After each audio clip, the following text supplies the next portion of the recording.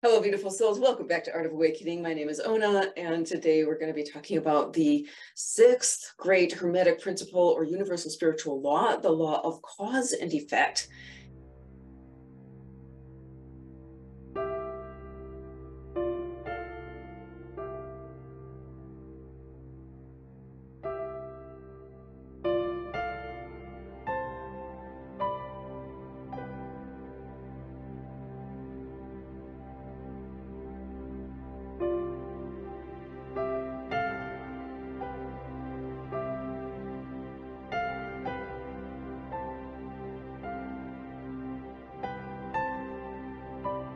And this is a really, really simple law to understand at its most basic level. And basically, what it says is that everything happens for a reason, nothing happens for no reason.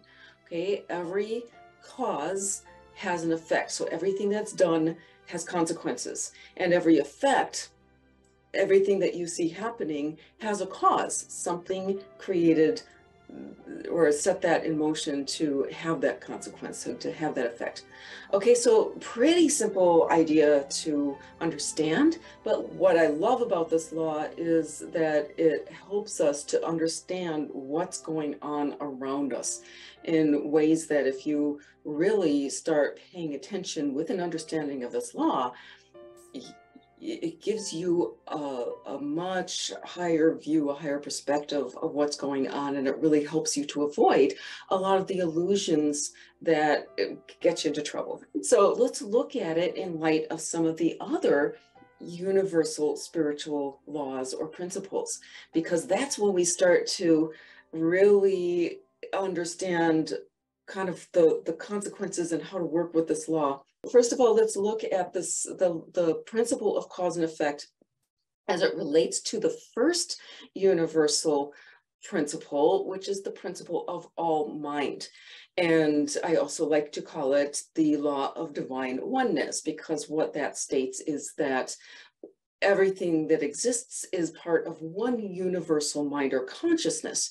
All right. And so when we start looking at cause and effect in light of that divine oneness, then we realize that because we are all part of this one universal mind, anything that happens in in the totality of existence in the entire universe will actually affect us in some way right and conversely, everything that we do, every thought, word, action that that that comes out of us somehow will affect the entirety of the universe, right? So I really like to think of this as the principle of personal responsibility because this principle kind of leads us to realize that as individuals, your being here actually really does make a difference at a universal level. You may not understand exactly how much, and it may not even become apparent until well after you're gone from this planet, but it does make a difference. Okay, so let's look at the next spiritual law in comparison here with this principle of cause and effect, and that is the, the law of correspondence as above, so below, which means that we're going to see the same patterns or similar patterns happening at various levels, like the personal level, the cellular level, the molecular level, right? Uh, and then from the personal level on up to the interpersonal or, you know, relationship level, on up to the societal level and even the level of the planets and the great universal bodies, right? We see the same patterns happening. And so with this law of cause and effect, you know, when we keep that in mind, we can start recognizing these patterns, right? So if you've um, lived through certain experiences and you start analyzing those experiences through the lens of the law of cause and effect, if you start to look at, oh, okay, well, this happened here and this created a vibration within me, right, a, a, an emotion, and this is how I reacted, and then this was the consequence of that. You can see these little patterns starting to show up. Um, and then when you become familiar with patterns like that through the law of correspondence, you can start to recognize patterns you know, that you've lived through, maybe in the personal level, you can start to see them happening on the societal level, okay?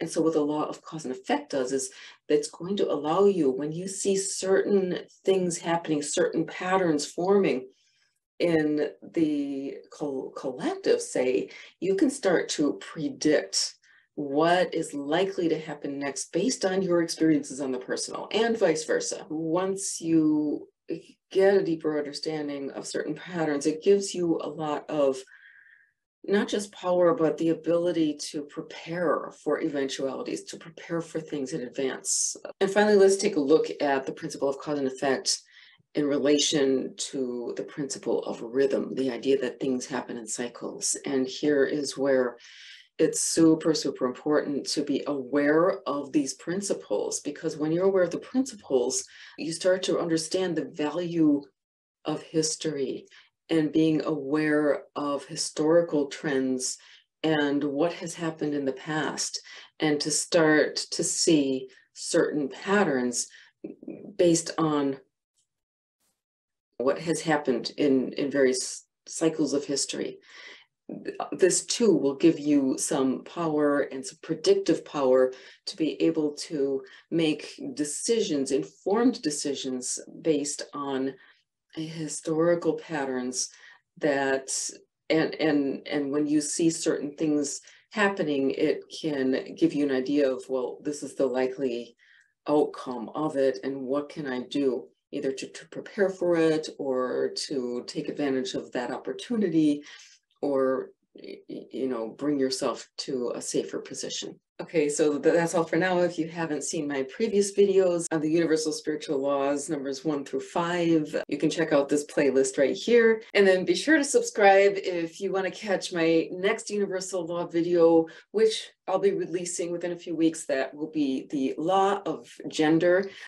Hit that like button below and remember you were born to be free.